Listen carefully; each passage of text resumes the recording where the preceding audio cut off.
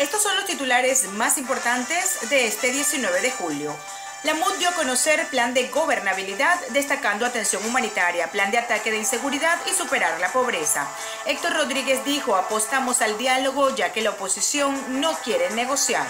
Gobernador de Anzuategui responsabiliza a Gustavo Marcano y Armando Armas por asesinato de mototaxista en lechería. Almagro dijo en el Senado de Estados Unidos, las sanciones deben apoyar al pueblo venezolano y presionar al régimen de Maduro. La Haya confirma recepción de denuncia contra Maduro. Aseguran que 500 empresarios están en desacuerdo con paro convocado por la oposición.